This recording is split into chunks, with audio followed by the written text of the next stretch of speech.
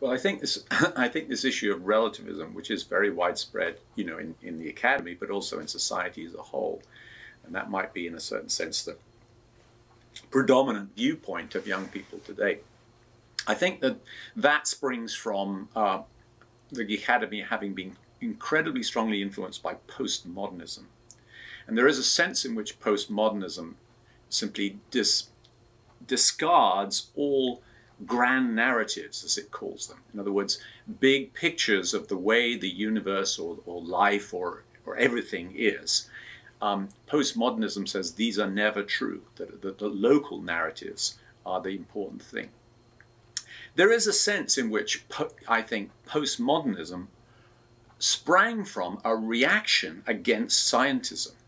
So, so the earliest postmodernists who, who, um, who essentially promoted this idea of recognizing that um, the, the relative um, difficulty of establishing our knowledge were em emphasized as much as possible. They were emphasizing as much as possible that science is not all the real knowledge there is.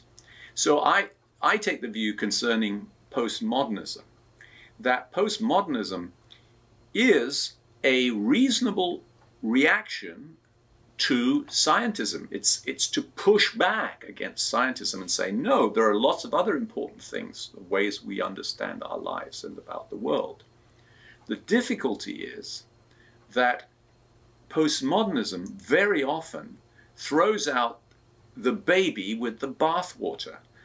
The bathwater of scientism deserves to be thrown away. But science itself does give us real knowledge reliable knowledge about the world. And by the way, so do other, many other disciplines give us true knowledge. And so I think there is such a thing as truth. It, it, it, we are perhaps uh, in a position of recognizing that it's more difficult than perhaps some of our forebears thought it was to arrive at it. But I certainly don't take the view that there is no truth. And I certainly uh, take the view that Christianity is um, deeply true